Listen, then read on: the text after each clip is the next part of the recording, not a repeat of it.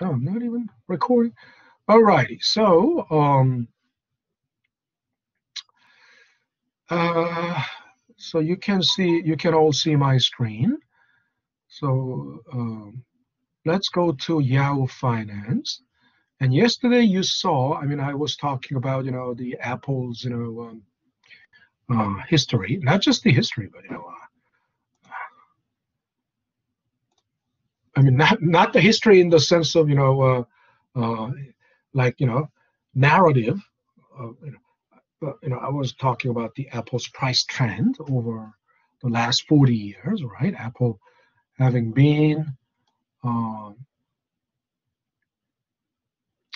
Apple, you know, went public, having gone public in 81. That's 81.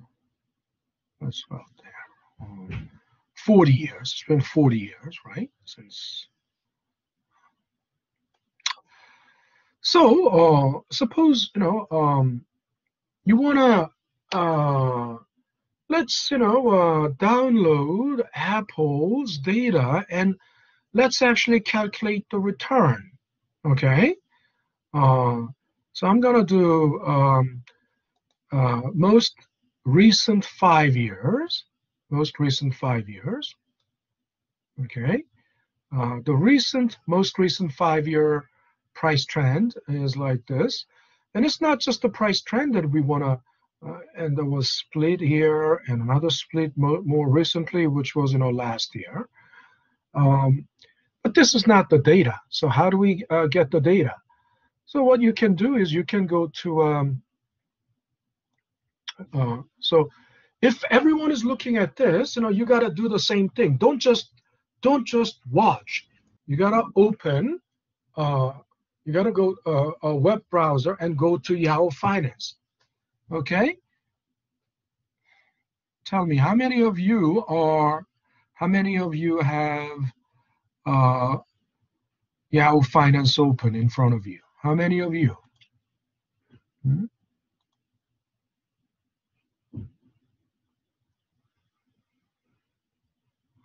Abraham, do you have Yahoo Finance open in front of you? Abraham, are you there? Abul, okay, Abraham. Yeah, sure. Yeah, you can have a second. Yeah. I mean, I'm uh, trying to open it. Okay, so of course you have to open the uh, um, the browser first, then go to Yahoo Finance. Okay, uh, Abul, you have Yahoo Finance opened in front of you. I mean, uh, in the past. No, I don't. Yahoo, okay, uh, Yahoo Finance is almost as if you know that is a uh, very legitimate data source. It is a legitimate data source. But uh, prior to 1990s, you know, that was we didn't even have internet prior to 1995. Okay, and in 1995, uh, two things happened. You know, Windows 95 came out, and Windows 95 was the first graphic user interface. Uh, what we have now, you think it is, you know, uh, like a default. No, it wasn't a default. Prior to 1995, it was a, it was DOS. The operating system was DOS, so there was nothing graphic. Now we can, you know, um, surf the net and you know, open. Prior to 1995, um, uh, what you could do with the computer was, you know, uh, basically uh, word processing and spreadsheet. Uh, and then uh, the earlier form of spreadsheet was called Fox Pro. I mean, there was that was the, and there was also something called um, Fox Pro and something. Some, I forgot something called one two three. You know, something one two three. I don't I don't remember. You know, Excel came only later. Uh, as a Microsoft Microsoft uh, Office package, but you know prior to that, uh, there was something called Word Pro and and only uh, and uh, the operating system was DOS, so it was you know black screen and you know white font, you know. you have to actually type in the uh, the command and then it like you know uh, make directory or you know um, open file or you know um, you don't there's no such command as open file but it was like you know uh, you search the directory you know so list you know when you uh, in the dos command you know you change directory to something cd something and directory name and then all the files in that directory are listed and you just click on that and it opens. And then there was no internet. There was email but the email was on intranet okay? The email was on intranet. Um, and the intranet was so uh, the email was mainly within you know uh, like you know uh, within the intranet. Intranet was basically uh, like college you know uh, a campus. Uh, universities had mainframe computers so the mainframe computers were you know um, within the campus everything was online. So that's called intranet but you know outside the campus it was connected to nothing uh, so the email, I was able to send the email to, uh, you know, um, uh, uh, another faculty member or to a student or to a faculty or, you know, between students. That's, that's it. Because, you know, everyone, everybody was in the same domain, right? But in 95, you know, as I said, you know, Windows 95 came out, okay, and Windows 95 had this, um, you know, Windows 95 is uh, graphic user interface. Windows, uh, the thing that you know as as it is now. So no, no more. We didn't use, you know, uh, we didn't need DOS anymore. So um, and then with the um, graphic user interface, Windows 95 uh, brought the age of, you know, uh, uh, World Wide Web, www dot, right? www dot. And uh, uh, and internet was called, you know, information superhighway in those days, in late uh, 1990s, you know, uh, mid late uh, mid 1990s, you know, it was called information superhighway, and that was the term used by Al Gore Okay, Al Gore ran for president. You know, uh, Bill Clinton served two terms. You know, uh, between 1993 and like you know, uh, uh leading to 2000, right? So, um, uh, so there was an election. You know, um, uh, at the end of 1999, and from 2000, you know, um, new administration came in, and the candidates were, you know, Al Gore who was vice president under Bill Clinton, and George W. Bush.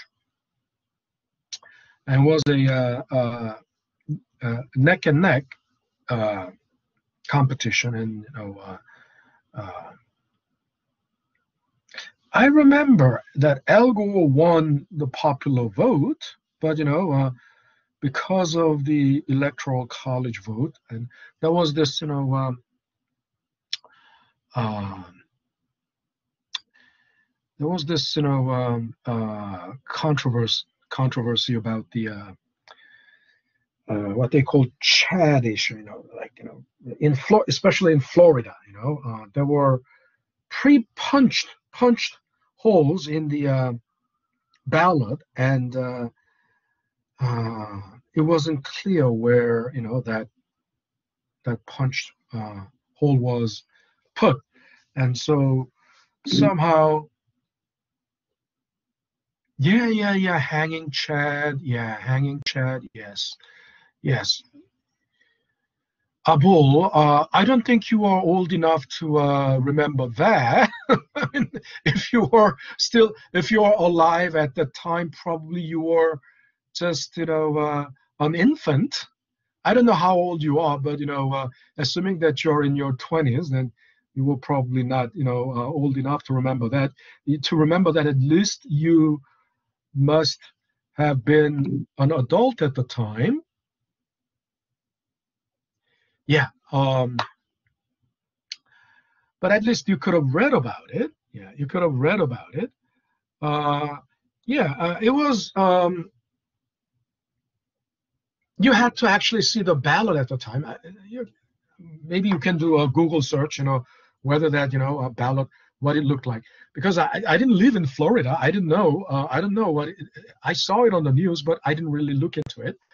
But because of that controversy, um, uh,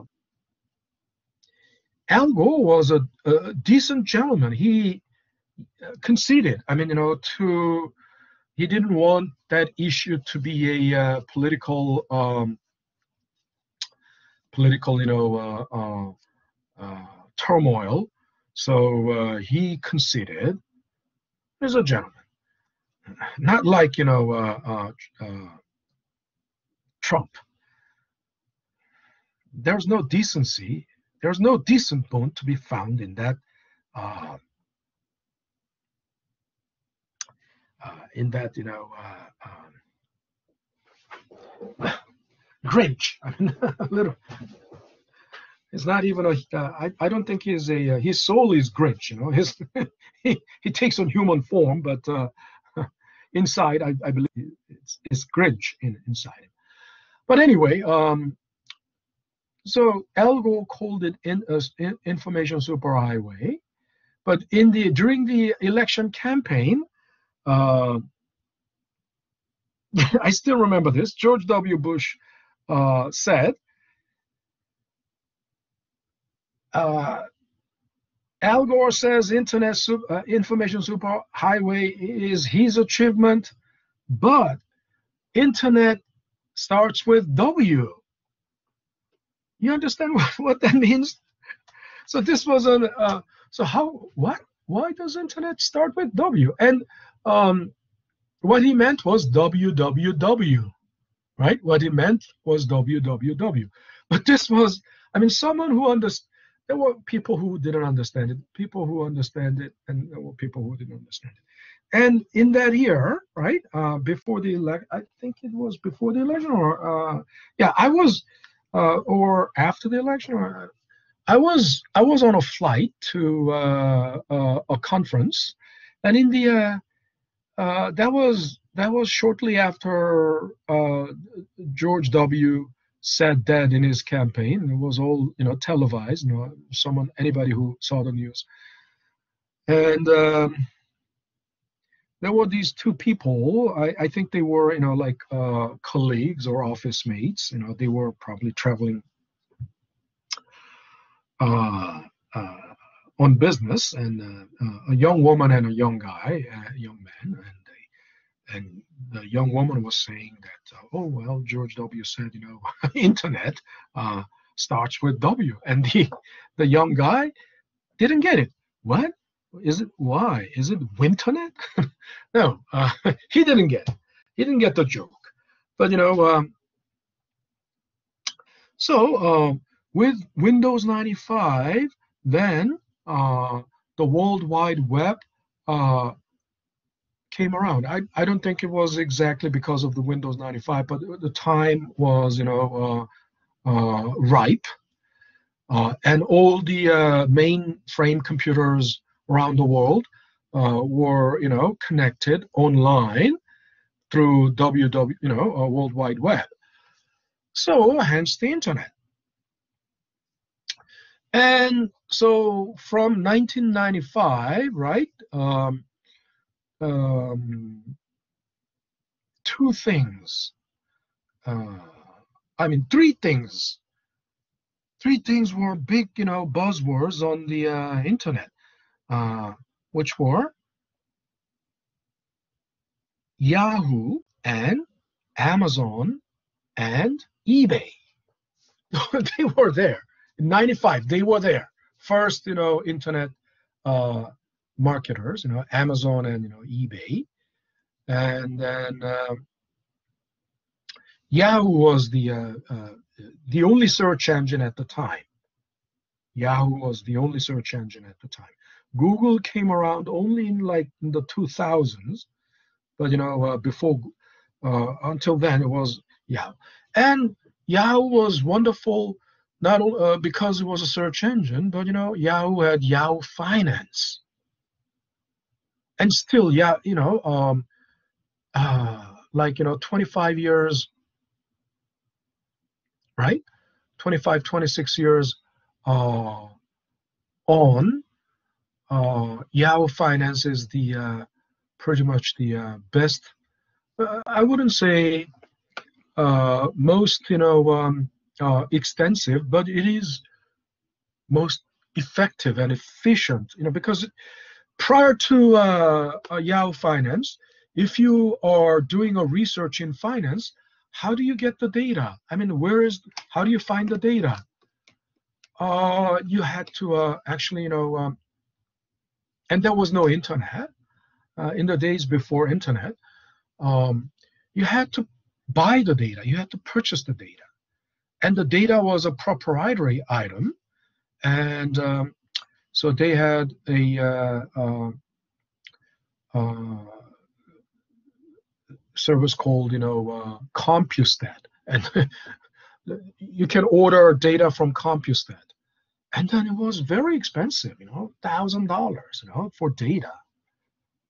Come on, you know, for a uh, if you were a graduate student in those days, you know, uh, really getting the data, I mean, um, the the universities had all the universities basically had Bloomberg machine, but to use the Bloomberg machine, uh, in those days you cannot download the data into a, a, a USB or in a comp CD. the, that was already you know uh, that's already much later. But you know even until mid 1990s,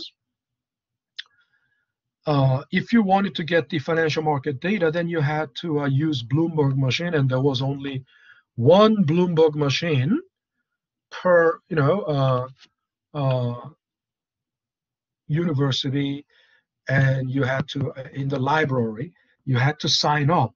You have to sign. You had to sign up to get the data, and uh, and to search. It was. It wasn't. Once again, it wasn't Windows. You know, it was basically, you know. Um, uh, DOS system. So I don't know if you ever saw the movie from 1990s, you know, uh, and uh, there was this movie, I think it was called War Game or something, and this, you know, um, uh, child prodigy, uh, a very smart kid. He was, you know, playing video game, but somehow he got uh, he got connected with the uh, Department of Defense system, and then he was playing game on it, and the uh, DoD computer uh, thought it was, you know, actual aggression from the Soviet Union. was still a Cold War era. So uh, even in those days, you know, uh, they were able to uh, hack into. smart kids were able to hack into the DoD uh, computer. but anyway, the so everything was DOS, you know, in those days. So um, the you had to sign up to use the uh, you know uh, Bloomberg machine. So uh, and then uh, it was only like 30 minutes. You were given like 30 minutes because there there's a long line, long queue. I couldn't even dare to uh, you know. Um, and if you have a some connection, if you have some connection, you could get a data uh, with people in the bank, right, banking industry you could probably you know uh, uh, get some data from them or you know buy data from them but otherwise you know you have to uh, do that you know uh, in the library. And in those days you had there was you know dot matrix print, printer. And the data is just printed out. You have to print it out on a paper you know. There's you know um, dot matrix. You don't even know what dot matrix printer is like you know. Like you know uh, there's a lot of noise and uh, it's uh, it's basically printer uh, printer moves the paper by you know uh, uh, what's that called cog and pinion cog you know as the uh, the the cog wheel turns you know and that makes noise tick tick tick tick tick noise right so but you know when it is printed out how do you use it you have to manually type that data into uh, a spreadsheet. This is crazy. You can't do it like that. right? Otherwise, you have to buy the data, uh, and it you know from Compustat or from other you know uh, data merchant, and it's very expensive. And if you're a graduate student, you know, uh, doing research, you know, I mean, just for your paper, you can you, uh, I mean, you know, um, uh, one thousand, can you spend a thousand dollars for data? That was 1990s, you know. And you think, you know, how life is, you know, easier now.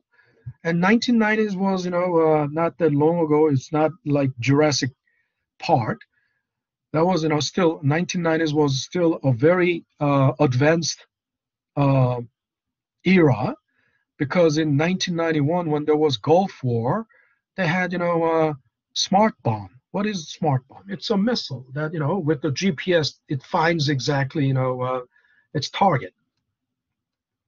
A company named Raytheon makes it. Still the, the Raytheon is still around. You can look up uh, Raytheon in uh, Yahoo Finance. And uh, on on TV screen you see, I mean, a missile finding its target by GPS system. And you know hitting the target. It's you know uh, through camera uh, mounted on the uh, warhead of the missile. It's televised on CNN to the audience in their living room. So you can't say that was a uh, like a, a, primitive time. we weren't living in Jurassic Park in the uh, uh, 90s was a very advanced, you know, time era. Um, but still, you know, uh, uh, getting data was a a mountain. You know, it's a mountain you have to conquer. But then in, with 90, in 95, with the uh, uh, advent of uh, internet and the, uh, uh, as I said, you know, three things were like buzzwords in those days: Amazon, Yahoo, Amazon, eBay. So on TV, or AOL, also AOL, America Online.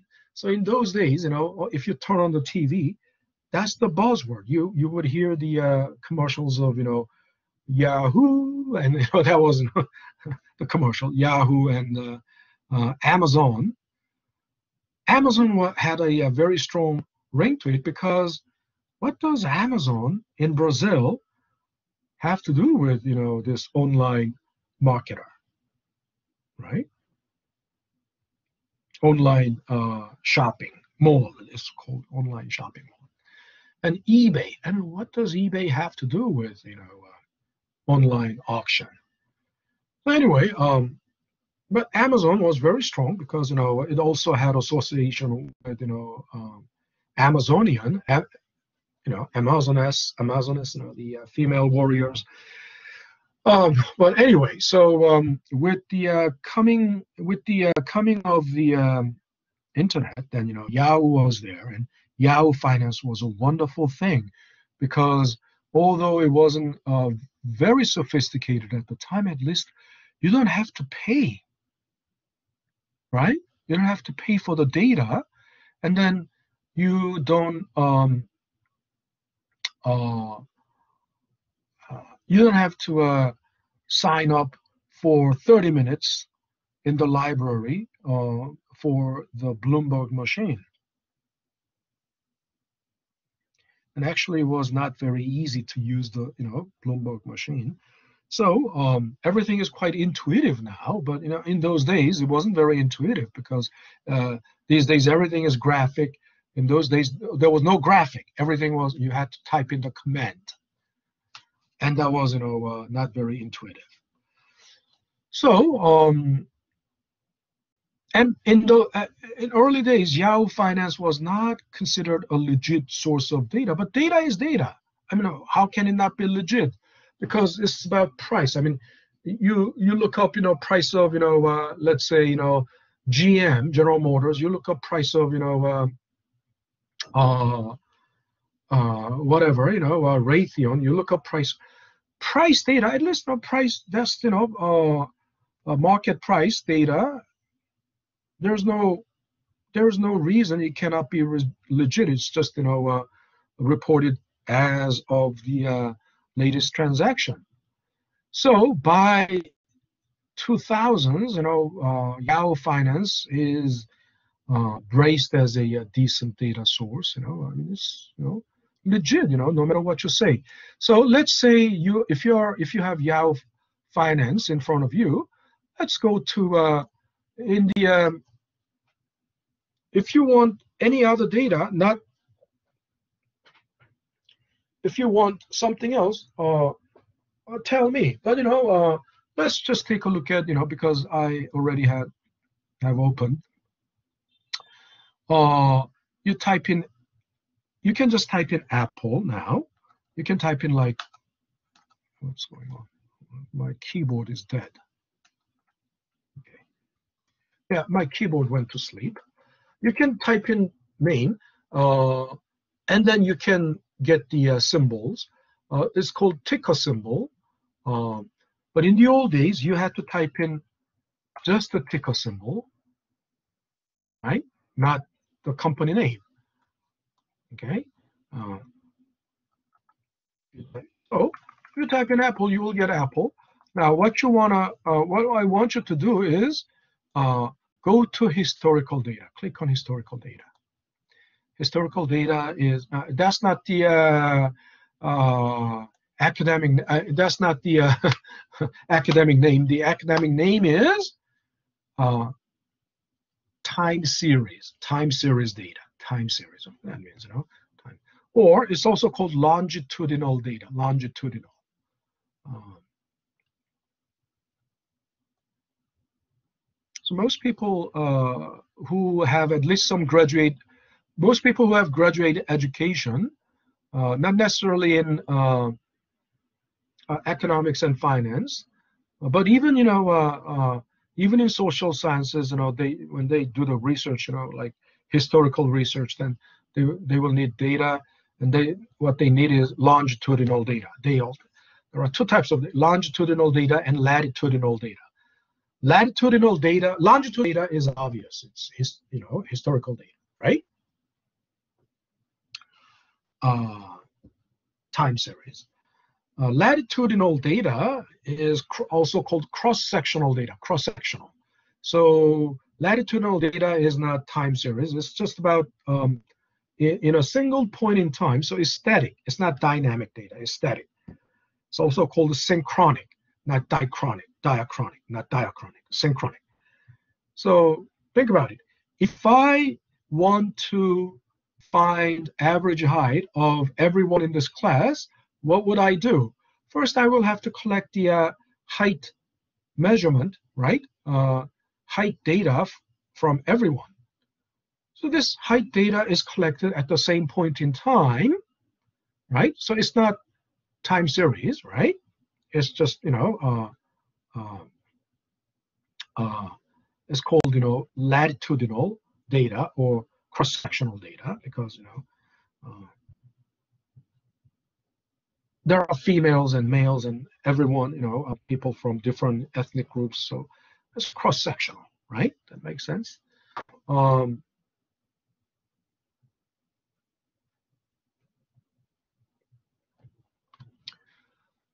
but you know if i want to uh, uh, if i have observed you know uh, growth of someone height you know uh, the physical growth of someone you know uh, uh, let's say i'm a pediatrician and if i know you from you know if i know one of you from your childhood you know and as your pediatric pediatrician you know if i have measured your height and weight i must have the record of, of that over the last 20 years or something and that's longitudinal data, right?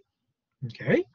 Now, so um, so I have the data for the last five years because it's dating from. Oh no, it's not last five years. I want to collect it for the last five years. So I will select the time period from like you know uh, uh, starting.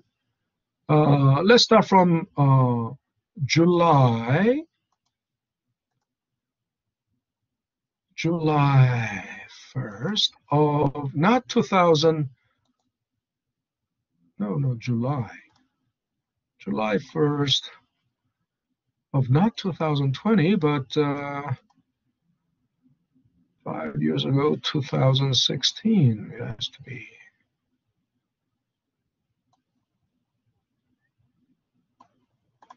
Okay. July 2016, end date today, right? Dawn. And then, I, and then uh, frequency, uh, and let's see, you know, starting from it's not it's not uh, it's daily data, but you know, uh, uh, so make sure your data range is correct, and then uh, frequency. Uh, we need monthly data because daily data is totally you know daily data has too much you know um, volatility. I mean you know meaningless small fluctuations, meaningless small fluctuations. So make sure you have June why? Uh, yeah, June 30. June 30 is, you know, uh, the same thing as July 1st. End of June 30 is the same thing as, you know, beginning of July 1st. First, and um, uh, that will make it five years, and then monthly, right? And then hit apply, and you already see, oh, well, dividend was paid August, dividend, dividend. Uh, every three months, every quarter, quarterly dividend was paid, and then there was stock split. It shows. Okay. Uh, so now we need to download it because the way it is now, it's you know we cannot use it. We cannot you know uh, we cannot do anything with the data uh, other than just viewing. Okay. So everyone is okay up to this point. Everyone got the monthly data, monthly price for the last five-year time frame. Time frame. Yes. Or do I hear my voice back? Okay. All right. Then click download. Okay. Click download. Hit download, and then you will see, uh, depending on your browser, you will it may show you what was downloaded. But you know, if if you if your browser shows, you know, that, then uh, don't just open it. Uh, click the folder. And let's see what, you know. And then in the fold, then you open it from the folder. Okay, then it looks like this. And if you, um, now I, the way, this is the default font. This is the default font. But you know, I don't like this because the font size is too small and the font is very dull. Um, this is something, uh, you know, if you are working with data, if you're in the future, I mean, if you, if your job, if you're, you know, in your occupation, if it is an occupation that has to deal with, you know, data, then, you know, um, uh, being data friendly, I mean, uh, the data, the, the data being human friendly is important. In other words, you know, it shouldn't be something that will exhaust your eyes because it's going to exhaust your eyes and data will look not nothing but meaningless numbers, right? Uh, to me, at least, I don't like this because it's totally not friendly to my eyes. It's not good for my vision the font size is totally, you know, uh, not good for my vision. It's gonna, uh, I'm gonna lose my sight. You know, if I work with, you know, this type of, if my occupation is something that will have to deal with this type of data for, you know, like uh, all my life, then, you know, in 20 years, you know, uh, uh, you will have, you know, uh, um, severely, severely, you know, weakened vision or uh, hampered vision or what's the word you know um, deteriorated a severely deteriorated vision. So i don't like this. So what what i want to do is i'm going to change the font. So you click here. I call that northwest corner this corner. Once you click here it's going to highlight the entire uh, spreadsheet. And then I can change the uh, font. First, I'm going to increase the font size to 14 and change the font to Times New Roman or Georgia. Times New Roman or Georgia. I'm going to use Georgia Pro. Okay. Looks much better. Right? And here, um, uh, the volume, this column, previously it was previously it was like this. Right? What is this? This is, you know, um, uh, the way they uh, compact the number, you know, like 2.74e plus 09, what does that mean? You add nine zeros there, nine zeros. And this hashtags simply means, you know, column width, column is not wide enough to show the number there. But, you know, once you change the font, everything will be taken care of. Okay. And here's the thing. Um, this is the original data set, but the data that I need is only, you know, uh, uh, data that I need is only one. Uh, data set that I need is only one. What is that? Adjusted close. Okay. So I'm to do this. I'm to highlight. I'm to, you know, you just highlight all this column has.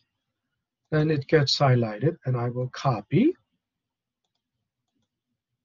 And I will add a, uh, I will, you know, add a new sheet and paste it there. And then I will, I will reserve, I will preserve the original data set. And then I will uh, paste it here. For now, I don't need volume. I don't need volume, so I'm to delete that. I don't need open, high, low. Why? Did I tell you before? Um, there are four price points during a day's tr transaction, right? First of all, there is open opening price and closing price at the closing of the market, right? And then there is high during the day, low, the highest price during the day, the lowest price during the day. And I told you, everything, nothing else matters, right? Only the only thing that matters is the close price. Why? Do you remember? Why only the close, close price? Why only that does close price? Uh, why only the cross? Uh, why only does the closing price matter? Hmm? I believe someone opened the microphone. That's why my voice was, you know, echoed back. Does anyone know? The price changes throughout the day, so you can't go by the yeah. price since it'll fluctuate, and the closing price will be determined until I guess the next day. Oh yeah, that's true. Uh, that's true. Uh, but you know, in other words, the the closing price is the uh, conclusion conclusion of that day's transaction. Isn't that right? Closing price is the conclusion of the day's transaction, day's trading. So nothing else matters, right? Everything else is everything else is you know uh, everything else is irrelevant. And and, and, and so who was who's so that? Who's that? Who was that? Abul. Abul. Abul. Okay. Okay. Abul. Okay, so you got 0 0.25. 0.25. I think I don't know. I think uh, I don't know. Uh, you must have a very have a good very audio. Good audio.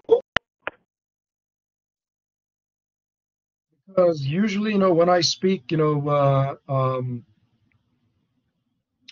the external sound source, external sound source is usually not picked up by your microphone, but you know, uh, uh, because my when I speak, my voice will come out of your speaker. So it's external because the sound is, you know, external to your computer, right? It's not, and uh, usually, you know, uh, when I play something, uh, some video, when I play some video uh, on the Blackboard system, right, or, or on Zoom, the sound that is being played from that video is not picked up by the microphone uh, or it is, it is picked up by the microphone but you know uh, uh, the students will uh, normally say you know i can't hear it. I can barely hear it or uh, i hear nothing. So that means you know the external sound source is not well picked up by the microphone by, by my microphone. But you know, your microphones are picking up my voice, my sound very well because it's being echoed back to me, and I I hear it very clearly, even uh, louder than my own voice. So anyway, uh, Abul, you you got uh, yeah uh, a 0.25 for that. So open high low, I'm gonna delete it. Okay, but I have preserved it. I have saved it here. So, you know, if I need it later, I can use it. And then I'm torn with, uh, I'm kind of, you know, uh, uh, in a dilemma now. Okay, there's close price and adjusted close price. Why? What is the, uh, what's the difference? How are they different? Mm -hmm. Now, uh, but before before before talking about that, let's let me. Uh, you can tell that this data is in uh, uh, ascending order, meaning you know uh, from the uh, oldest date to the latest date. Uh, normally, I, I, I would I want it in a descending order. So how do you do that? Well, you can you know you can just click. You see this this is descending order, right? If it is, you know, uh, uh, text, then it's in reverse alphabetical order. But if it is numerical data, uh, from the uh, uh, largest to the smallest. If it is, you know, time, uh, from the latest to the oldest. If you don't see it there, you can find it also uh, if you click on home and then you can, you know, see sort and filter, you can sort, right? Newest to the oldest. And then you might wonder, uh, if I do that, isn't it going to be only the, uh, the date? No, the, these data are, you know, uh, linked. I mean, uh, Excel knows the price price data uh, is uh, linked to the date. So if you uh, sort it uh, sort it by the date, then everything will also follow. So if I sort it, uh, it's going to be like this. Okay. Are you guys all here? Do you all do you all have it so in descending order, right? Yes. Everyone? Yes. Okay, good. All right. Now, now let's uh, talk about you know the difference between um, close and adjusted close.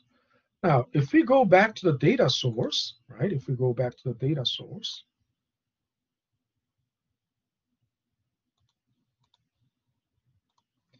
you will see uh, it's got two asterisks, right? Adjusted close as two asterisks. Close as one asterisk.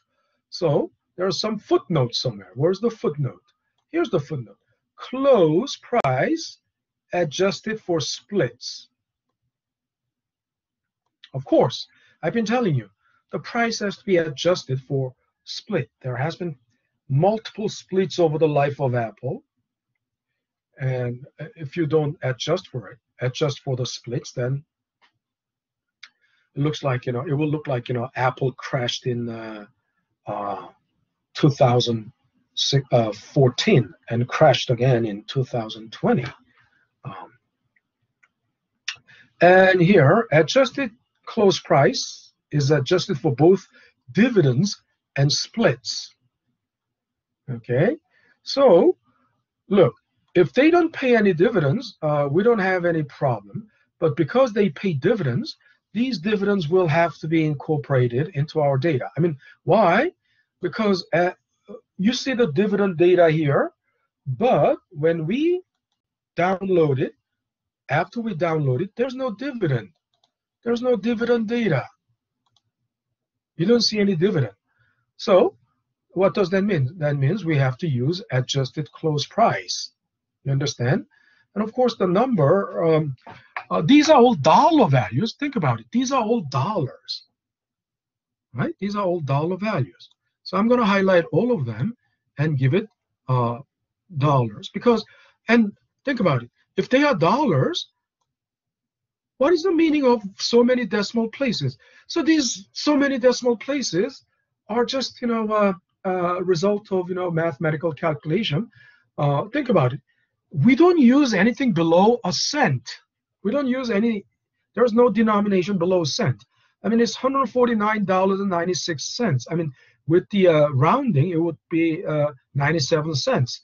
Whatever is below the uh, second decimal place is uh, immaterial. So we don't need to use anything below uh, second decimal place. it can be rounded. What I'm saying is it can be rounded off at the second decimal place.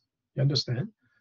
But you know, uh, we can do it simply by using, giving it dollar symbol because if it is currency, right, we, we use only two decimal places, right? So there we have it. And we don't need this. So we're gonna, because we're gonna use adjusted close price because it has already, you know, uh, uh, adjusted, it's adjusted for also dividend. So I'm gonna delete that column. And now we have adjusted close. So then, since this is price, we'll name it, we'll call it PT. Okay? And what does that mean? It's obvious, this price at time t. Isn't it right? It's price at time t. And it's monthly data, monthly data. I'm gonna uh, center line and give it like underline. So it's monthly data. And looking at the calendar dates, it looks like, hmm, didn't we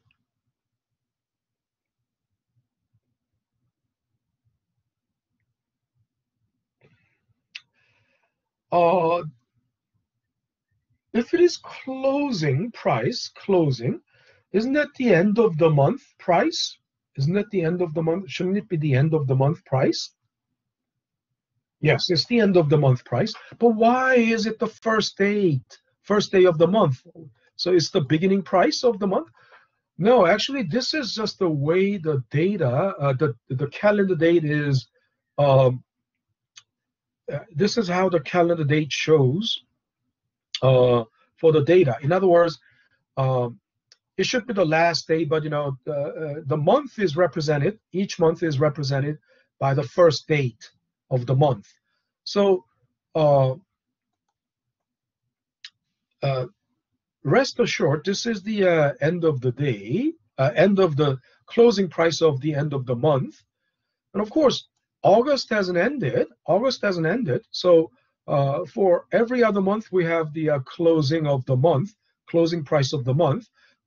Since August hasn't ended, uh, uh, this is just the latest, latest, you know, uh, closing uh, price, not the uh, end of the month. But you know, that's fine. We um, and since it, this is five-year, five-year data, we must have 60 data points. 60 data.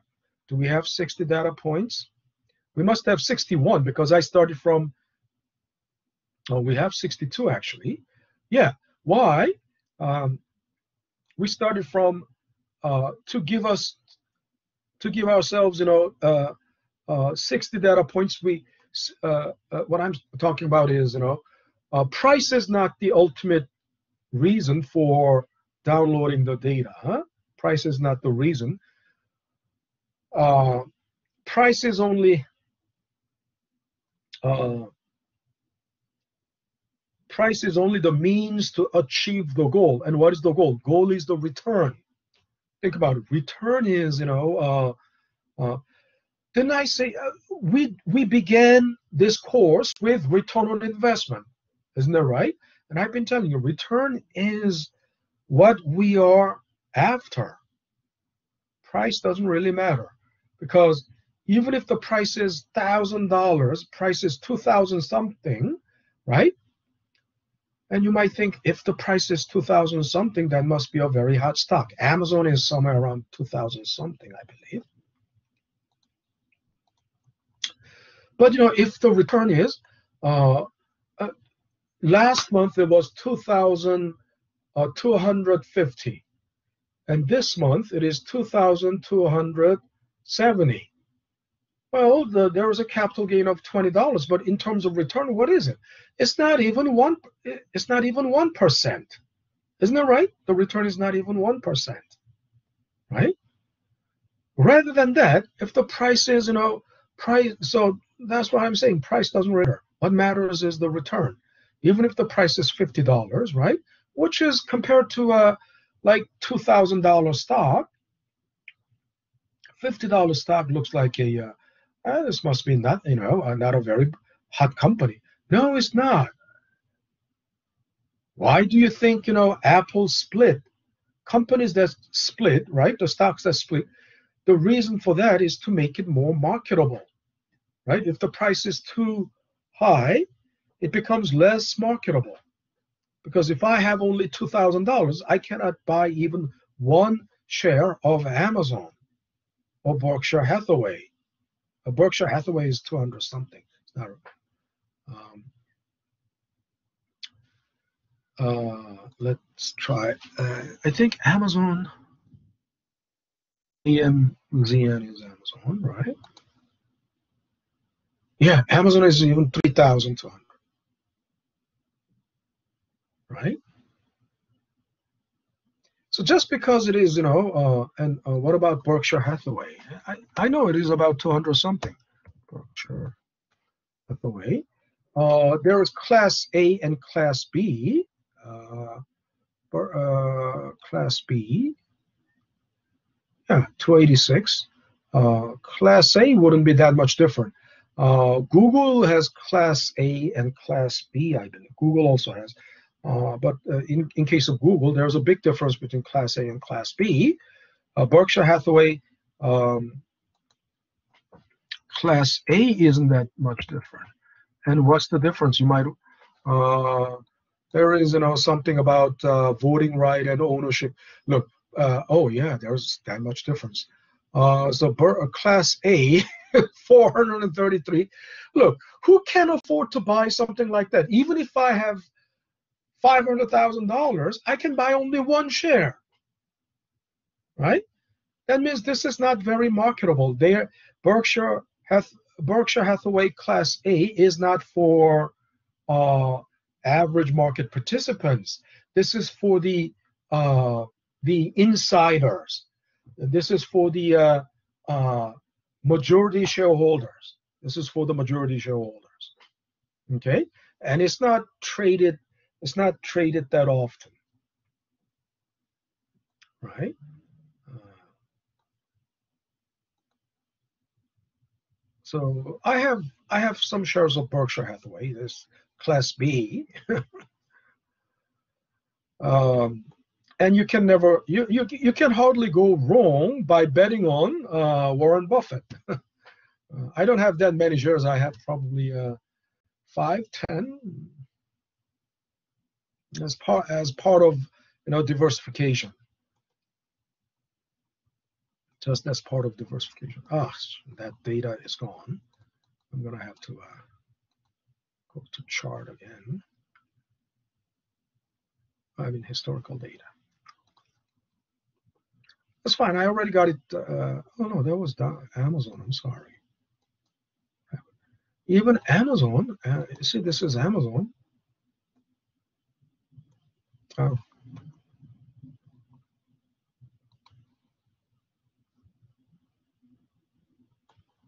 Yeah, there's Apple data there. So back to uh, our spreadsheet. So uh, what I'm talking about is if if the price is not adjusted for split and uh, dividends, then we will have to that, make that adjustment manually every three months. That's going to be a hell. And you remember the uh, formula. What is so? What we want to know is now we want to uh, find the uh, return. So that's what I was talking about. You know, what's important is the return, not the price, because even if the price is fifty dollars, right? If the price grew uh, by ten dollars, last month it was fifty. This month it is you know sixty. It's just ten dollar increase, ten dollar capital gains compared to the uh, uh, Amazon example. I said you know uh, in that case, there was $20 capital gains. But then in terms of return, it was only one, not even 1%. But think about it from $50 to, you know, $60, the, um, look, the return is what? Huh?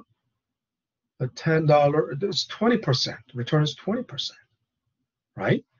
If I have, you know, uh, $10,000, $50 stock, I can buy like uh, if I have 10,000, uh, I can buy like uh, 200 of them. It's 10,000, uh, 50, right?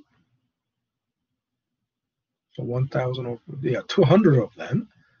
But if it is, you know, something like Amazon, even if I have $10,000, I can, I can buy only four, right? And return is only less than not even 1%. So why you know uh, so price price is not what we are after of course price carries a lot of information first of all price uh, the fact that e for even 1% return that kind of high price is uh, supported means that it's uh, there's a huge demand right there's a huge demand for that stock but still you know in terms of return i mean it's irrational why? Because of just one one percent return. If that price is still supported, then you know uh, either the uh, uh, the buyers, the stockholders are irrational, or they are betting on something. Currently, the return is very low, but you know uh, the company has a, a, huge growth potential or something. Otherwise, that cannot be explained. And it was exactly the case of Tesla, because in two Tesla uh, went public in 2010, if I remember correctly, 2010. That was also the time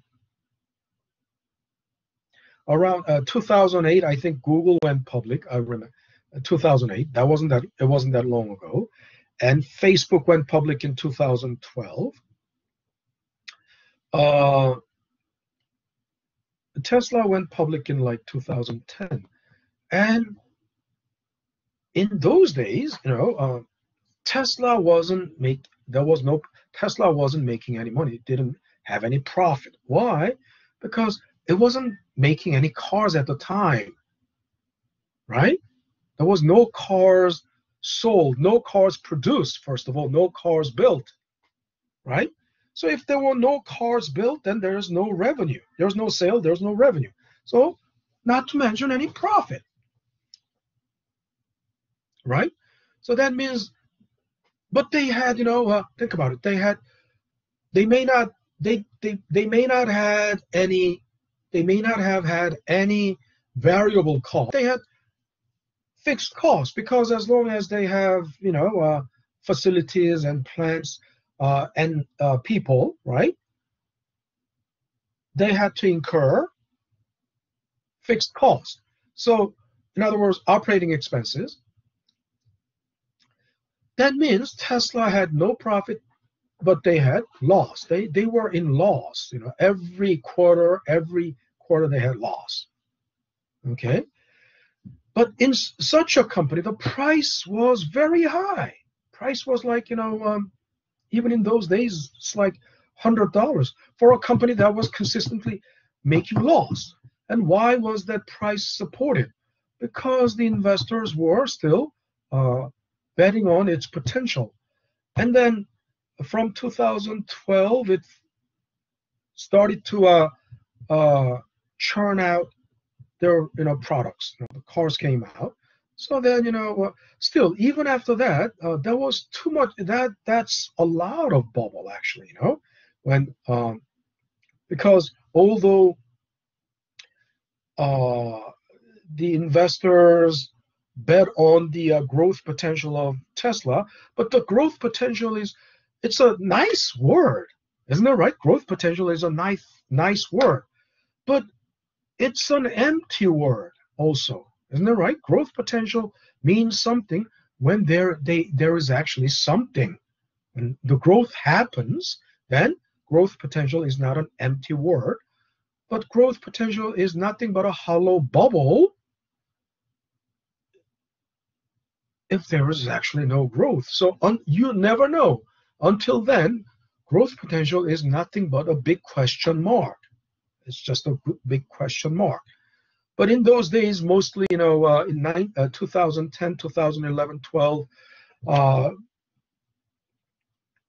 Tesla uh, shareholders were mainly institutional investors. Institutional? In other words, you know, uh, venture capital or you know, big, you know, uh, asset money movers or you know, big financiers, you know, big asset management firms. So they had the uh, analysts, you know, in these, you know, uh, who are uh, churning out, you know, a very positive report about, you know, Tesla. Uh, so they were, you know, but again, still, but that's huge bubble. I mean, for a company, I mean, any rational person would not. Warren Buffett would not put in uh, put the money into uh, just you know growth potential, which is not backed up by any fundamentals. What's the fundamental? Fundamental is basically the financial statements, right? And since Tesla was uh, making loss, you know, uh, continuously, uh, quarter after quarter, you know, until like 2012. I mean, even after 2012, think about it. All the losses that ha- that they have incurred until then, it cannot be just because they are churning out their first unit, right? Or first, you know, 100 cars, you know, it doesn't get, it's not recovered, right? All those losses piled up until then, it's not lost it. And even uh, Tesla was still, even after uh, producing cars, uh, they were still in loss even until like 2016, 18. I think they only started to uh, turn profit only from like 2018, a very meager profit, but still, you know. Um, uh, so anyway, um, so return is what's important, right? Uh, not the uh, uh, I don't know if in Warren Buffett's portfolio, if Tesla is, you know, uh, part of it, but um, uh, so return is very important. And how do you how do you calculate return? Does anyone remember how to calculate return? Mm-hmm.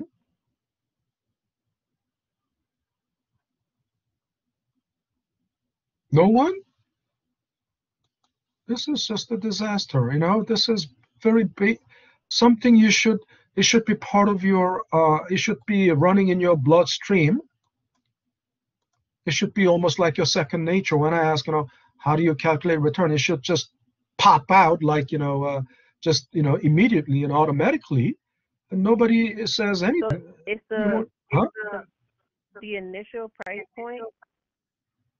So the well the sorry the price the price that it is now minus the price that it was when you first bought it plus the dividend divided by the original Uh-huh. price. Subtract. Yeah, yes, Yeah. yeah. Yes. Subtract I'm sorry. Someone else is saying.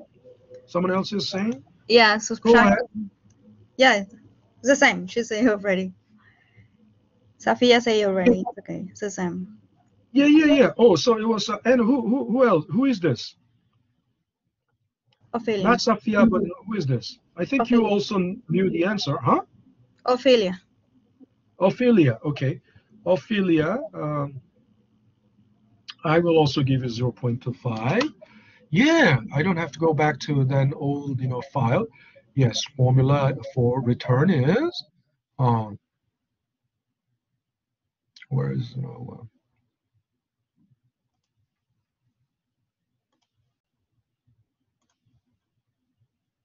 and this is what I don't like because ah okay too small so I'm gonna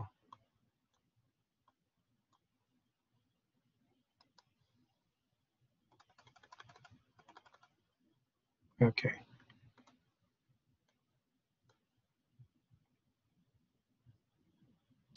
Let's do it this way.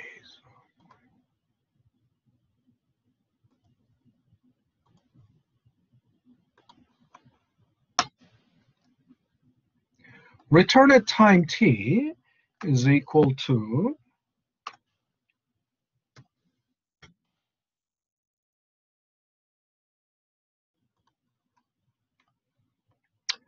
uh, no, no, no. Why is it like the equation, not the uh,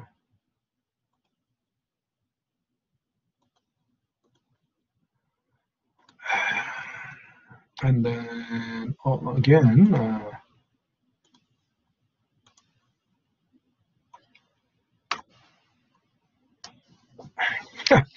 because of all these you know uh, equ- using equation editor is fun but it is very annoying because you have to uh, um, set it up you know enter the format first you know that's um,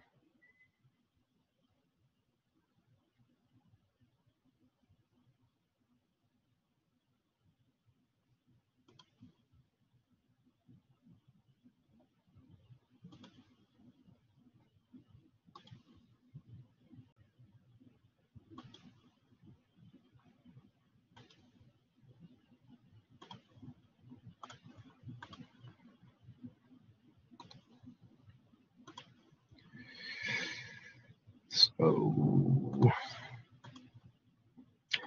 okay, so it's, you know, basically a PT, price at time t, minus, you know, price at time t minus 1.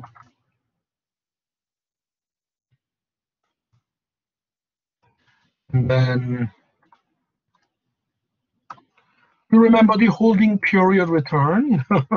In that holding period return uh, but you know in our example holding period is just one month so it is you know uh, really uh, cash flow at, uh, uh, cash flow during this period so I will just call it T and then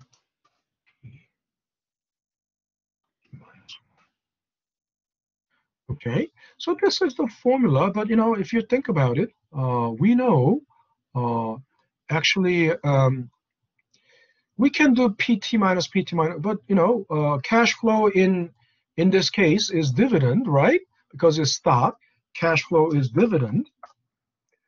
But then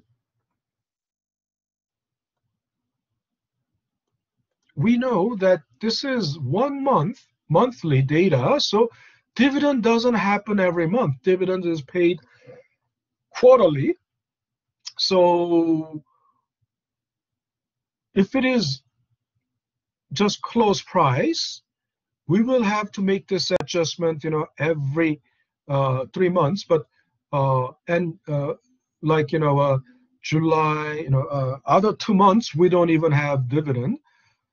So the thing is, this is totally unnecessary because um, we don't need this because the price is already adjusted for dividend, right? It's adjusted for stock splits and dividends. So I'm gonna just delete that. Okay. All right. So that's then now uh, uh, because it's zero, right? Uh, dividend is zero. I mean, it's already uh, in, incorporated. It's reflected in this. So now let's find the uh, return. So this is monthly return, right? Oh, oh, where am I going? I have to scroll that way. And I want to, oh, come on, CUNY first.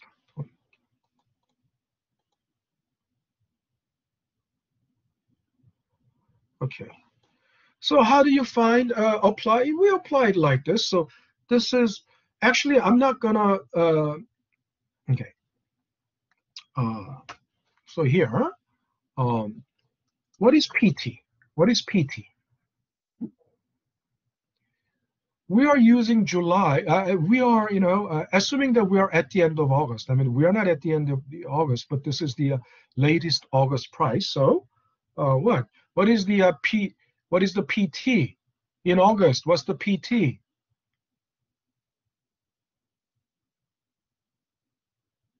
You don't know?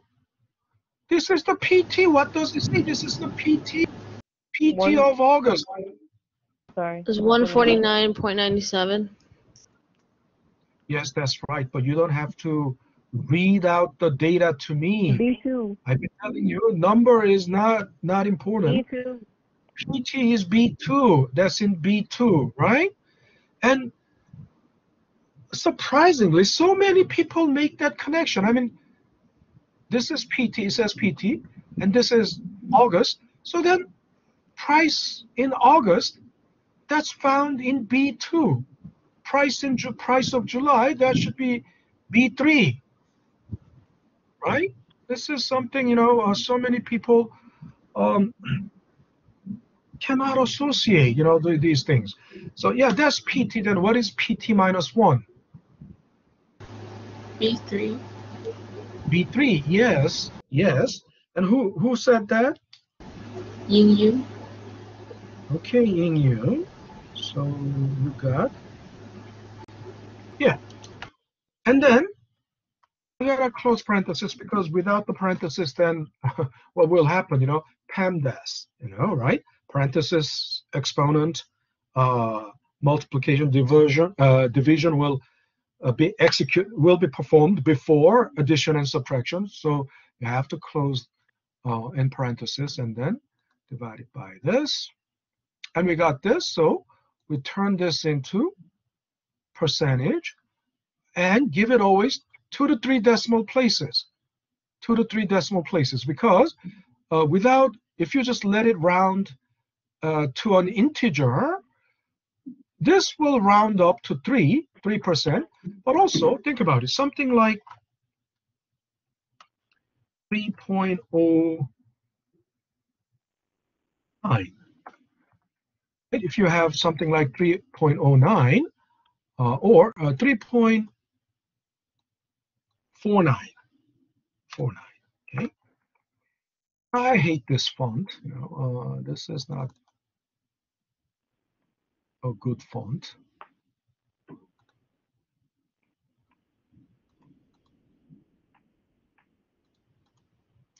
Suppose you have 3.09 and let it round, right? Uh, round it. What's it going to become? That's going to round to 3. And let's say you have two, um, 2 point,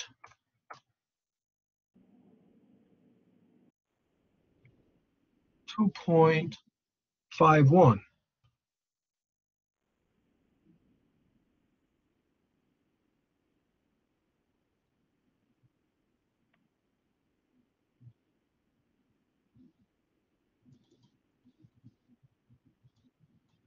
And if you round it, what's it going to round to? Hmm? Also going to round to Three. yeah, three. So you see the uh, the um, the downside or you know the hidden. uh, You don't you don't think about this, you know, you don't because you are, you know, most of you um, probably have never thought about this, never cared about this, but this is this could be a very um, misleading. This could be a source, you know, of misleading information. Why? If you round it, but if you think about it, uh, they look like the same number, but if you in, you know increase the decimal, actually the difference between these two numbers are very significant. The difference is one. You understand? The difference is one.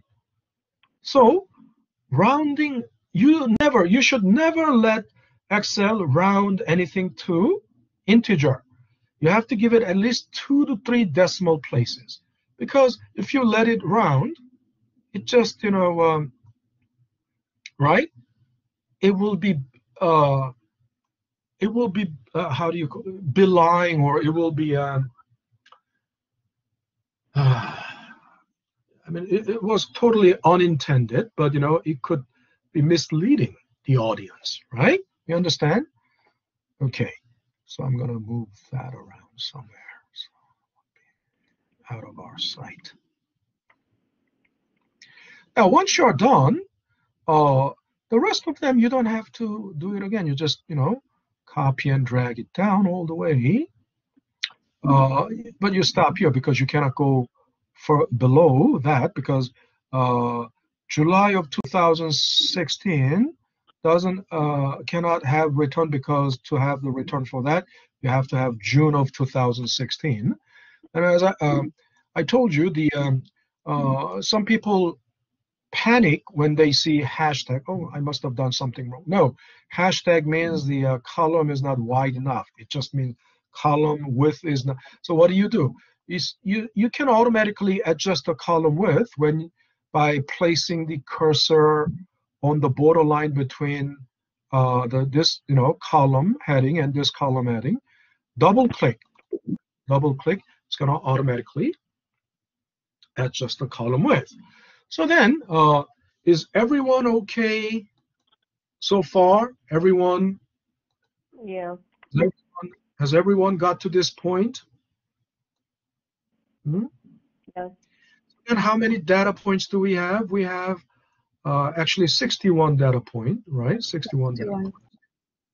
uh 61 and yeah uh, that's good enough because we we only need 60 but you know having 61 data points is not a bad thing because um, 60 data points we are dealing with monthly data monthly so 60 data points mean you know uh, means five years right?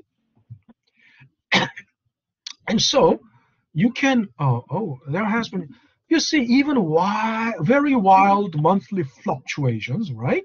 Um, sometimes you know uh, apple just because it is apple it doesn't mean it has always good month right? Good months all the time. Um, uh, if you want to uh, sort it if you want to sort it right uh, in ascending or descending order i want to uh, i recommend that you do it uh, not here because it will change because look it's formula right? So if you sort it you know uh, in descending order then everything will change. It's not gonna uh, current it's not gonna hold because um, uh, it's not gonna be 10.10 anymore because when when it changes you know all these you know uh, ordering will change so uh, what I'm gonna do is I would suggest that you copy this highlight those columns and copy that and take it to another sheet, another worksheet, and paste it there. But this time use paste special because uh, the formula has been also copied. So when the formula is copied, when you sort it, uh, because of the formula, everything will be all you know uh, scrambled all over again. So you just uh, use paste special and just click values. Okay, then only the values are, you can see this, right? Only the uh, values are copied, not the uh, pasted, not the uh, not the formula, then now you can sort this in descending order. Okay, then you can tell, oh, Apple's best best month was uh, in the last five years, right? In the last five years, Apple's best best month was August of last year. What happened August of last year? I mean, of course, you know, it's the uh, uh, Apple's, you know, uh, profit was probably, you know, very good. Or, uh, but you know, uh, there could have been another incident like Apple came up with iPhone 12 or iPhone whatever, or new product, or you know, some some you know, uh, good news about Apple. But anyway, um, and when was the worst month? Oh, November of 2018 was the worst month for Apple, right? Negative, you know, 18. Uh, and you might think, oh, there must be a symmetry. I don't know if there's a symmetry. I mean, it looks like, uh, uh and um, the best month still, you know, uh, uh, outdo best month out, uh, you know, is better than the worst month by about two percent to three percent, right? And then how many are positive? How many months did we have positive returns? How many months? Right? Like, you know, uh, yeah, 39 months. There were 39 positive returns, and that is more than the majority, right? Because out of 60 data points, right, if 39, almost two, thir- uh, two thirds, and only, you know, uh, 22 months, it was negative. So obviously, you know, then if two thirds were uh, two thirds of the data gave positive return, positive, and uh, only one third is negative, uh, you know, um, this is obviously a winning streak, I would say, winning streak. But you know, going back to uh, this, okay, so if you want, what is the next thing you want to know? The next thing you want to know is the mean return. Don't you think? You want to know the mean return, the average return, mean return. So, uh, how do we? How do I find the average return? Well, it's not a difficult thing. Uh, you can you can just you know uh, find the average you know using the uh, uh, average average right, and then you um, highlight everything in the data range. And then you have to close the parenthesis, but even if you don't, it will automatically, Excel knows, uh, it will automatically close the parenthesis. Well, it was better than before because every every semester, every year, I track apples, you know, every, you know, like five year uh, data uh, uh, subset, right? Five year, you know, every semester I do this. And on average, uh, for the last couple of years, it has been like 2%, about two, two point something monthly. Now, um, uh, in the latest five-year subset, right, starting from uh, August 2016 through August, you know, uh, 2021, uh, the the average monthly return was 3.36. That's a significant uh, uh, improvement. Um, so, so I will call it mean or average or mean is the same thing, right?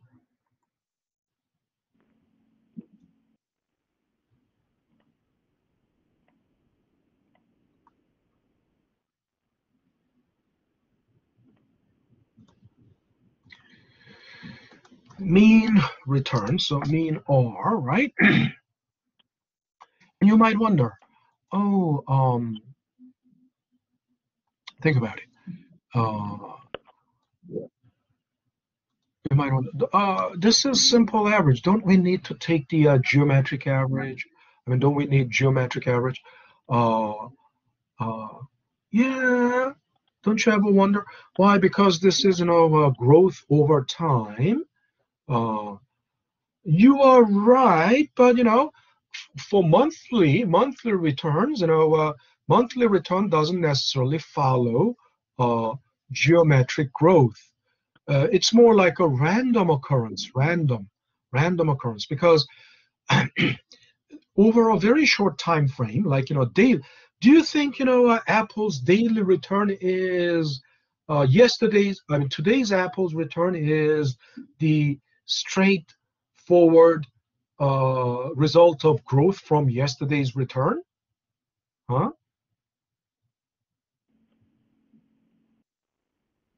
In daily returns, that's clearly not because because from quarterly returns that makes sense from quarterly returns it makes sense because you know every quarter every quarter then you know after every quarter then there is you know uh, earnings report and uh, the mar- uh, investors and the market participants. Market will see you know um, oh this is you know there was a uh, uh, growth you know due to um, profit you know uh, uh, you know during this you know quarter. And then so yeah from you know quarterly data uh, the compounding effect is compounding effect is present right?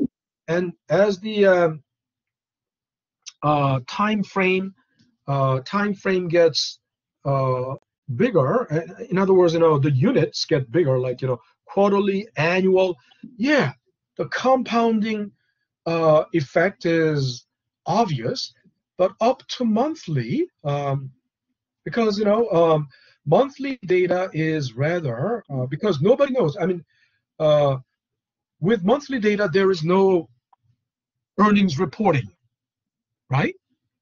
The market doesn't know anything about uh, there's in internally a- apple internally will always you know compile the data you know monthly and they will know whether you know um, but from the market's perspective they don't have earnings report in other words you know uh, financial statements are not updated you know until the end of the quarter so you wouldn't know the market wouldn't know um, uh, uh, I mean, uh, monthly for the monthly monthly uh, growth, the market wouldn't know. And monthly growth, uh, there is no basis for uh, there is no basis for uh, extrapolating monthly growth, or you know. Uh,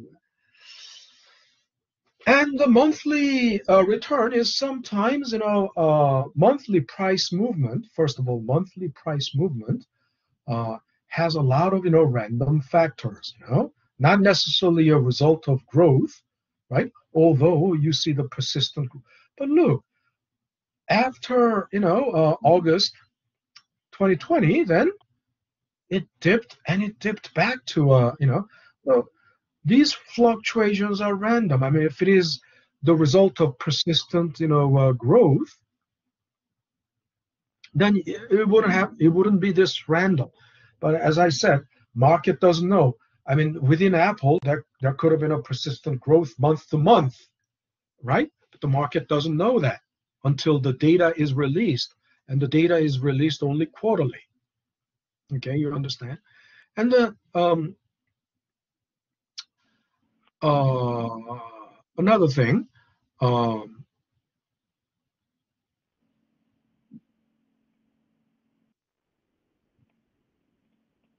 uh, what was I trying to say? Um, and also, even if uh, in the long run, uh, so monthly, daily, weekly, monthly price movements are basically, you know, are pretty much, you know, random. I mean, uh, monthly is not uh, that much random, but it's uh, looking at the daily price, you can tell daily price movement. It's quite random. It's like you know uh, uh, Brownian motion. You know what Brownian motion is? It's the uh, the trajectory of gas atoms, a gas uh, molecules, gas molecules, right? You never know how which way you know. Um, and it is also you know up to monthly you know uh, price movements uh, uh, which is dominated by uh, random factors. So then the return is, you can consider that as, you know, although this is on a time, this is on a timeline, but this timeline is rather than as a uh, longitudinal data, this timeline is almost uh, these, you know, return data and the price data are almost, you know, um, considered as cross-sectional data, like as if it is all possible numbers. All there are 60 data points existing at a single same time, single point in time, 60 data points that that can be random, that can come up randomly, right? So this is almost treated considered like a cross-sectional data, meaning you know uh, these are 60 possible numbers that can randomly come up at any point in time, right? So that's why uh, uh, simple average is used, and simple average is okay for this one. But you know, you, from the quarterly data, it will have to be the geometric average, okay? Because you know, from the quarterly data, uh, we can find you know uh, a clear evidence of growth, right? Uh, you know, um, um, but even with the uh, um, in the long run, I mean, you know, there is you know, it looks like you know uh, there's a lot of randomness here, but in the long run, anyway, we are averaging it, right? So we will, you know, uh, anyway. So if we found uh, the mean, what is the next thing you would like to know? The next thing you would like to know is what would be the uh, average, uh, average, you know, uh, deviation, average deviation from the mean. Okay, and interesting thing is, mean is a, a very neutral number, right? So mean um, is also called expected return. Expected return means mean return or expected return expected return means that's the forecast, right? Expected return, meaning uh, that's the forecast. Um, because you know that means you know this is what's expected. So that means you know next month we can pretty much expect you know 3.36. But again, this doesn't mean this is the projection for the next month or forecast for the next month. It's just there's no better guess. There's no better forecast than the uh, uh, than the average from the past data because um, in reality this is not gonna this may not happen and think about it over the last five years do you think that ever happened? It doesn't have to happen. There, there was something close. There was something similar, 3.27, but that never happened. This number never happened, right? But that's average. I mean, that's average means, you know, it doesn't have to really be uh, part of the uh, actual data. You understand? Uh, if I take average height of everyone in this classroom, right? That average height may not actually happen or not. And most of the times it may not happen. If average height of everyone, uh, average height of this class is, let's say, uh, five foot 10 or five foot eight, or five foot eight, three, let's say, five foot eight, three. Will there be actually someone with that height? Huh? No, by, might not be. pure, by pure It's just sum of the total coincidence. divided by the number. What? I said no, it may not happen because it's just the sum of all of the all of the actual heights and divided by. Yeah, yeah. In other words, it's just, yeah. It may may happen. Uh, there may be actually someone who is five foot eight three. There may it's by pure coincidence. It's by pure coincidence, really. But you know, most of the times you will never find someone five foot you know, uh, A3 in this class. Okay? Because it's just, you know, it just came out mathematically, right? It's just the average. But, you know, there's no better, there's no better uh, expected uh, number than this to uh, infer, to infer what it's going to be like in the future, right? So uh, in September, you know, if I use, you know, another 60 months, right, another 60 months, including September, right, then uh, uh, this average will change slightly. It's called moving average. Moving average of 60 months, you know, every, you know, uh, uh you can get, you know, moving 60 month moving average, August, September, October, and the moving average will uh, change. And um, connecting those moving averages, you know, you can also uh, uh, uh you can also have a trend line that would give you some you know peek into how it's going to move in the future. But the point is, um, the next thing you would want to know is uh, what is what is the average variation from average variation from this mean? In other words, yeah, it, it, it varied. I mean, it it varied between 2144. I mean, that was the upper bound, and the lower bound was 18 negative 18.4 40 40. Uh, but what was the average variation, right? So to find the average variation, variation is you know basically deviation from the mean. So what would you need to do? You will need to first find the difference terms, right? Difference. Uh, difference term is basically, I will call it, oops, what is that? I will call it um, uh, difference term because, you know, um,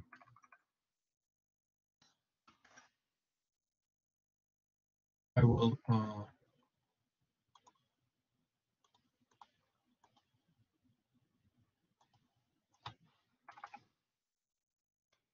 annotate here. Oh, come on. This. All right, I will make a separate uh, text.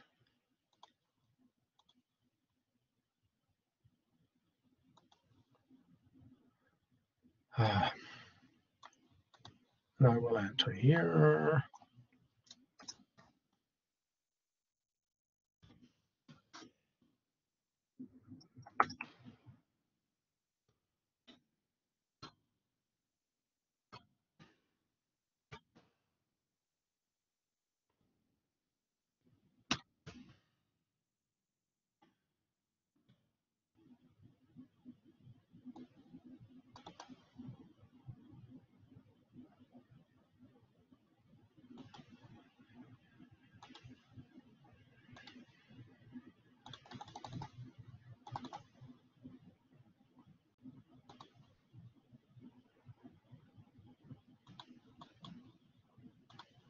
Okay, so that's that's what it means, right? Difference, right? That's the difference. Mean, uh, oh no, no, the other way around. I'm sorry, the other way around. Actual return minus return, right? That's the you know that's the difference term. So here, uh, simply what I'm gonna do is I will take the difference between ah, come on.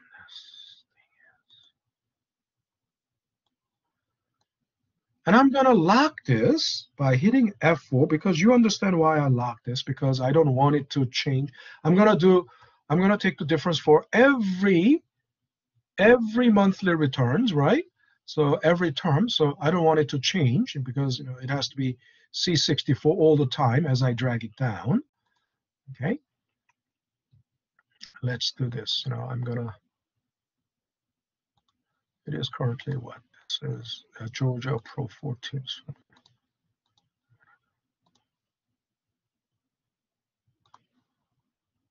14.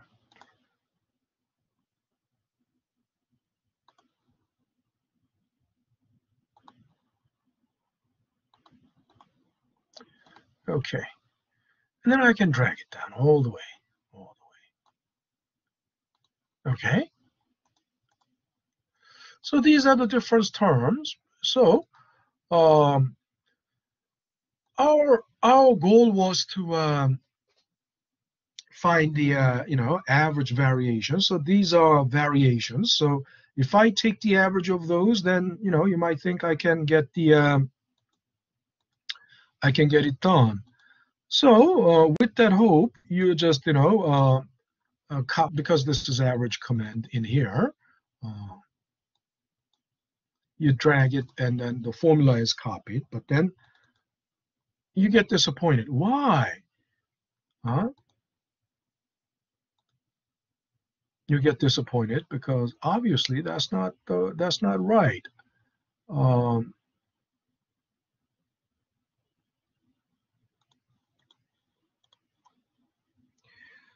well, then you know uh, this is something that is not unexpected. Why?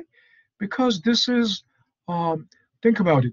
Um, mean i've been to, i told you mean is a very neutral number right so what does that mean uh, that means uh, all these different different terms have are half of them are positive half of them are negative and they and they would be like those uh, negative and positive terms would have the uh, same uh, you know um, uh, variations, same numbers, so they will cancel out each other. If they cancel out each other, average will have to be zero.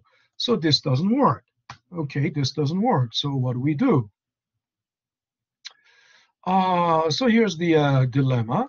But then, um, uh, so some people might say, so can we just, you know, throw away all negative uh, terms and work with positive terms only? No. That means we are throwing away half the data set. If we throw away half the data set, then our data set will lose the dynamics. The uh, uh, it's it's going to lose the uh, di- the picture of the dynamics that you know the data had, data set had. So we cannot throw away uh, uh, we have to keep 60 data points 60 data points. So what do we do? Well one thing we can beat around that get around it is by uh, squaring using the you know uh, difference term squared. Why?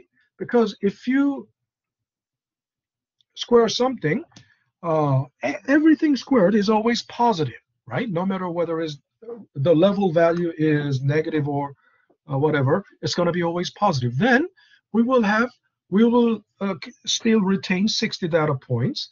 Um, and then you might wonder, uh, then uh, how do we, you know, find the average variation then? Uh, I'll, I'll get to there. I'll talk about it. But, you know, what's important for now is retaining uh, the 60 data points, not losing any data point. Okay. So we raise that to, you know, uh, power, right? That's how you raise it to, uh, uh, you know, uh, second power, how you square it. There you go. And then um, this gives you some, you know, uh, uh, you know that's, you know, uh, five zeros, right? But then, you know, uh, we turn it into percentage, right?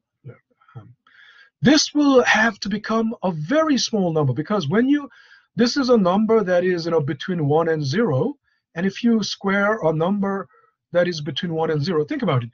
0 0.2 if you square it what does it become? Huh? 0 0.2 if you square it what does it become?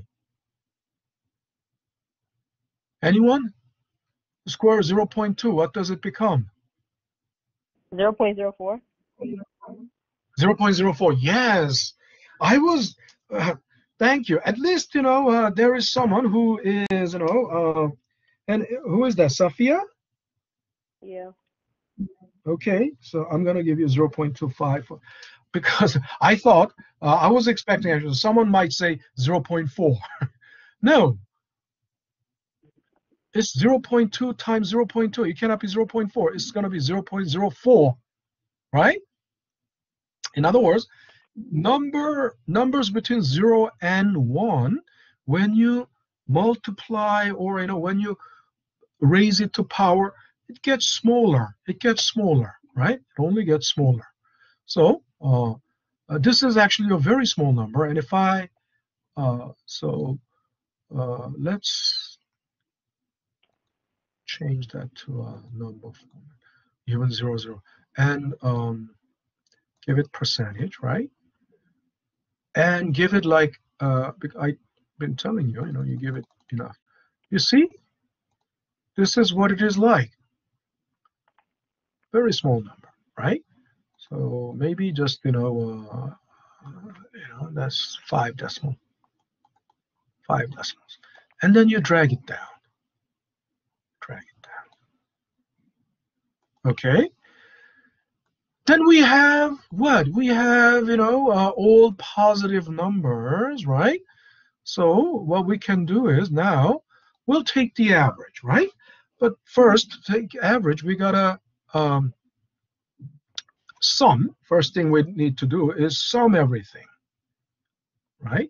So I'm gonna um, using auto sum, right? It's gonna sum everything. Okay, and uh, because this is a sum and um,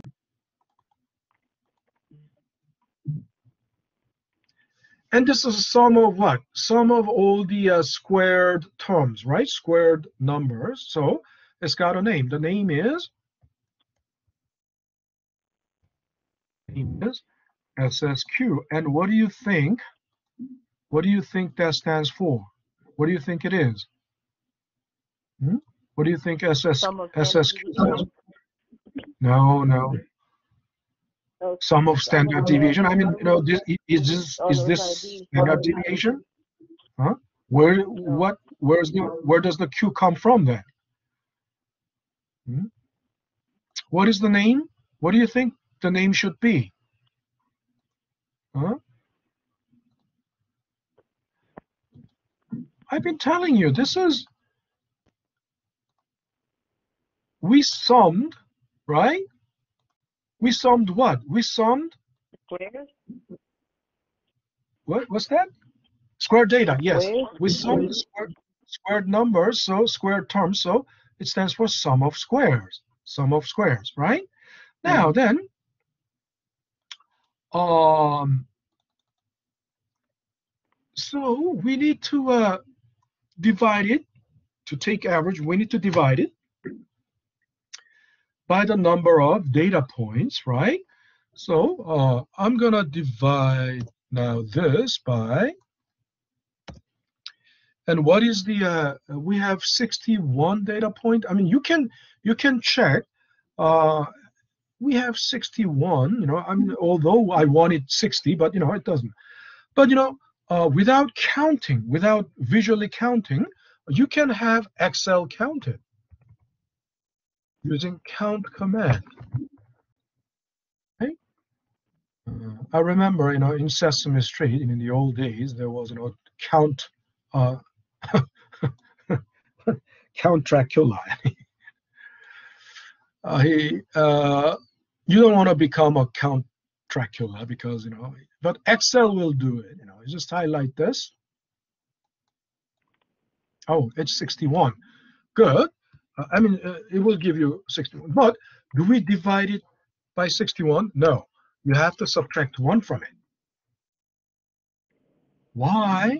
Um, because this is a sample data. Sample data meaning, you know, uh, it's a subset of Apple's population. So, uh, but you have to uh, enclose it in the parenthesis. Uh, otherwise, you know, it will just divide it by uh, by this, and then from that you will subtract one. So, if I do that, uh, it's gonna be like this. That's too much. I'm gonna uh, about you know just about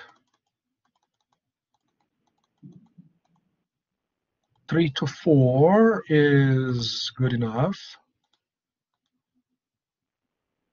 This two, I'm gonna.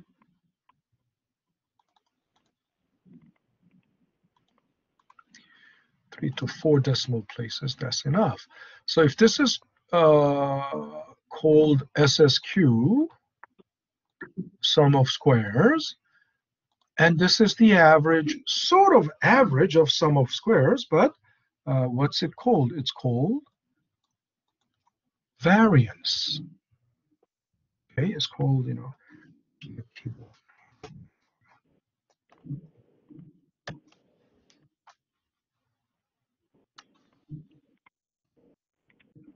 it's called variance.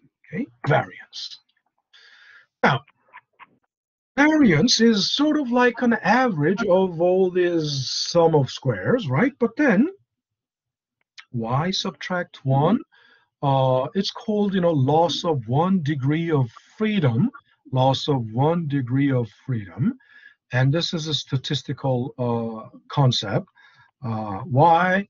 Um, it's a long, it's got a long, you know, uh, story, but, you know, uh, everything was, you know, explained in my lecture and we don't have too much time. So I'm just gonna uh, uh, tell you that Apple, uh, the data, Apple's data, actually Apple started, remember Apple went, I told you about this, Apple went public in 1981. So Apple is a 40 year old company, right? 40 year old company.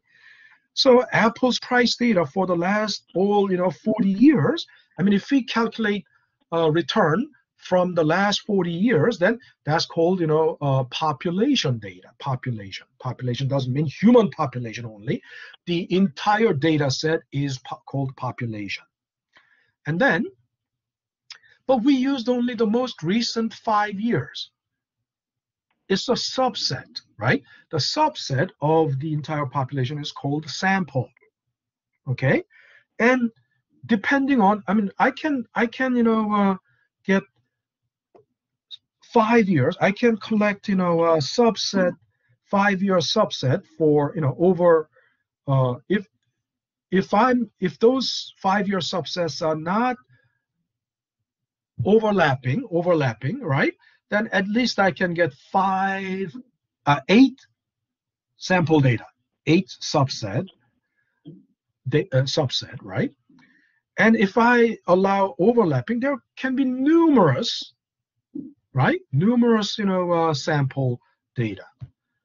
But you know, uh, the point is anyway, we have only we are using sample, and the sample is not the mean of the sample is not the true mean, mean of the population. Obviously, think about it. Cannot be the mean the uh, first five years of Apple's you know life, you know history, um, like 81 through 86.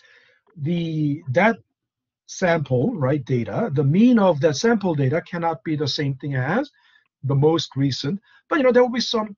Um, it may not be that. It, it, it can be drastically different, or it may not be. But the uh, uh, the idea is the uh, mean of every sample group is not the same thing as the mean of the uh, population. The mean of the population is called the true mean because that's the. Uh, but anyway, uh, the thing is because uh, of that, may, we are making adjustment, right? Uh, because of you know loss of one degree of freedom, we are making uh, we are making adjustment by by subtracting one from it, right? And then uh, if it is you know population data, we don't have to do this. You know, just the entire 40 years, then how many data points? You know, uh, four, uh, 40 times, you know, 12, 480 data points. If we have 480 data points, you know, then that's the population. We don't have to make this adjustment for sample. Now, so this is like an average variation, but then in uh, uh, returns, but then this is not the uh, life-size picture. This is really not the life-size picture. Why? Think about it. This is not the life-size picture. Why? Think about it. Because this is squared up, uh, squared. Uh, this is the squared data, right? Mean of the squared data. So then it's like a blown up picture, right? Magnified picture. actually it's not magnified because this uh, number, you know, smaller uh, number between zero and one gets smaller, right? Um, so we need to uh, revert it back to uh, take it back to life-size picture, and we know already how to. Why? Because this was, you know, uh, uh, squared. So how do you re- revert it back to a life-size picture if the, you know, square from squared picture, blown up picture, and we blew it up by squaring? Then how do you revert it back to life-size picture? Get the square root. Huh? Yeah, take the square root. So if I take the square root, uh, let me just you know copy it down. Not, it's not uh, what I'm uh, gonna do, but you know uh, because just to retain the uh, font and um, so square root is you can do sqrt or raise it to one half, right? Um, so I'm gonna point to this. And you know, uh, if you raise it to half, right? If you raise it to half, that's square root. Okay, so that's the uh, that's the life-size picture of the uh, variation. That's the uh, average, you know, deviation from the mean, right? Uh, uh, uh, over the last, you know, five years. Okay. And another thing, if you wonder, look, um, yeah, I, I'm not gonna do. Uh, but you know, uh, use this and uh, starting from August price, right? Let's do this if you want to.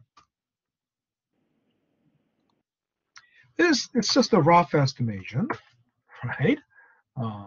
This is to 60. I'm not starting from uh, uh, uh, yeah 61 because from there. Yeah. Try that and see if it's gonna be similar to if it's gonna look similar to uh, August price. August may or may not. Uh, 186. Okay, so it was, and you understand why? Because this is simple average. Simple average will overstate, right? Overstate. Simple average will overstate it. If this is a geometric average, it will be will get you close to uh, that number. Maybe it was, you know, raising to 60. But you know, uh, so then uh, we understand what is the uh, mean and the standard deviation, and how do we use that? Um, how do we use that? Uh, we are out of time, so we're gonna be talking about that tomorrow. And there's a lot to talk about uh, tomorrow because it's the last day. All right. So everyone could follow all the way up to this. I want you to save this file because you know this is gonna be um, something that uh, will uh, uh, jostle your memory later, you know, about what we did uh, in this class. All right, so um, let me stop recording. Uh, let me say um, goodbye. And uh, uh, but before I go, is there any question so far? Is there any question?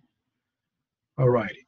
So final, I, I checked. There are three, three, uh, 33 problems. 33 problems. And someone said yesterday that in the quiz there were 50 problems. No, I checked. There were only 25 problems. I don't know why that person said, you know, uh, huh? No, the second, the second quiz that you write us. Not the, not the last one. But quiz two had 25 problems. Okay. Yes, that was 25. Maybe quiz one had 50. I don't know. I don't think quiz one had 50. Anyway, so um, The Uh, optional ones was hmm? the optional quiz. oh, you mean you know uh, the practice Yeah. uh, ROI practice test? Yeah, ROI practice practice. You know, it doesn't even. Um, all righty. So uh, uh, if you have no further questions, I will sign off. Uh, I will uh, stop recording and uh, sign off. All right. Take care, everyone. Take care. Thank you. All right. Thank you. All Have a right. good You're welcome. You too. Thank you.